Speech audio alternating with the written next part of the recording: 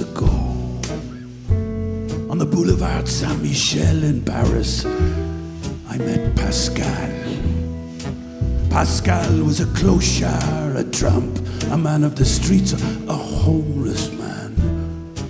He smelt like a lion. He carried two plastic bags with his worldly possessions newspapers, Le Figaro, Paris Match and perfume bottles, empty, Chanel number five. He held on to his plastic bags like I hold on to my violin. If I let it go, and he'd let his bags go, we'd float. This is his story.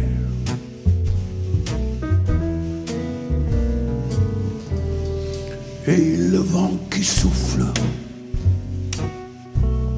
à l'appel de la lune. Et le feuille qui tombe sous la bourrasque. Ne reste que l'arbre après leur chute. Et Pascal descend, descend, descend le boulevard au Feuillamont. Ah, I hear your name, Pascal, and I cry. He lays his body down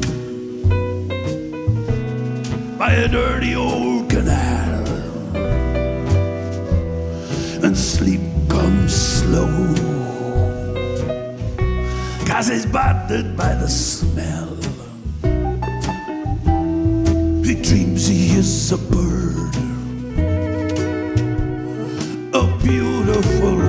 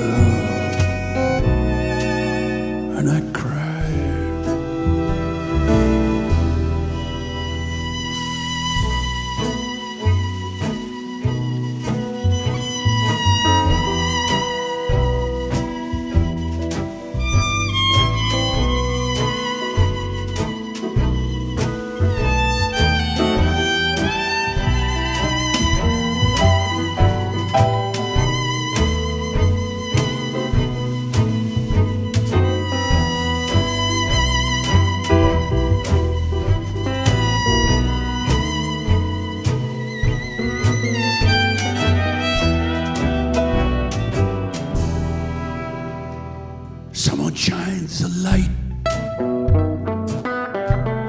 It wakes him from his sleep. It's pouring down with rain. It's time to move along. Deep down in his coat, he's looking for a light. And he wonders to himself, did it ever get this bad?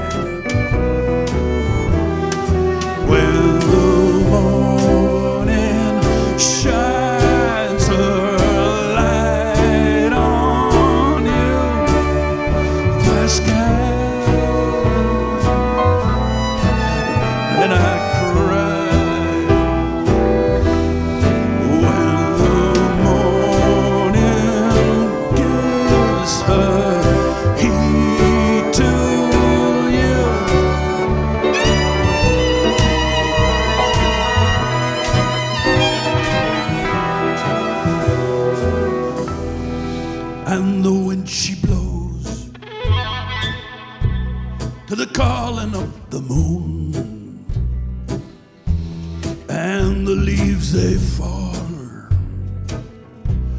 by the blowing of the wind, and then the tree lay bare and the falling of the leaves. Pascal walks down that leafy boulevard.